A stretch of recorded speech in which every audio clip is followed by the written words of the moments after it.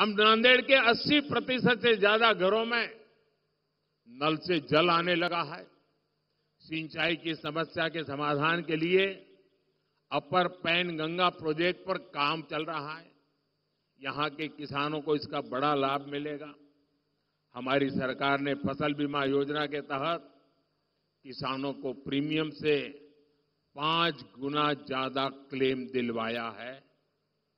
किसान सम्मान निधि के तहत अकेले नांदेड़ के किसानों को ही 1300 करोड़ रुपए से ज़्यादा मिले हैं। इस क्षेत्र में तो ज्वार, बाजरा बहुत होता है। हमारी सरकार ने इस मोटे अनाज को पूरे देश में एक पहचान दी है। उसके लिए पहचान दी है श्री अन्न, चाहे ज्वार हो, बाजरा हो, वो श्री अन्न का के साथ पहचाने जाए। और जब से ये काम शुरू किया है, दुनिया भर में लोगों का ध्यान हमारे श्री अन्न पर गया है। सुपर फ़ूड के रूप में गया है। और न्यूट्रिशन की दृष्टि से बहुत बड़ा ताकतवर संदेश गया है।